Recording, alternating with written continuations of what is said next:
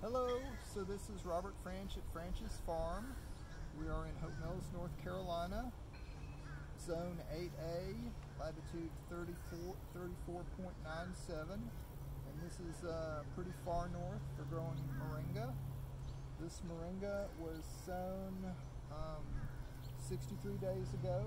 This tool is four feet tall, so you can see that it's a little over four feet tall. And at this point, going to do our first harvest of the leaves. The way we're going to do that is we're going to go about about four feet.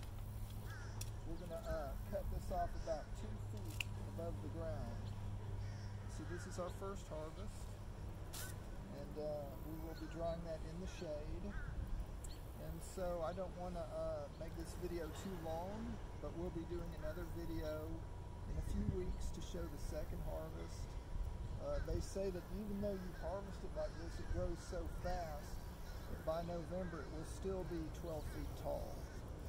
And uh, this is just to improve the lateral branching.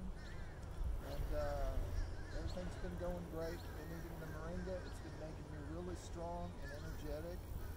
And um, so until next time,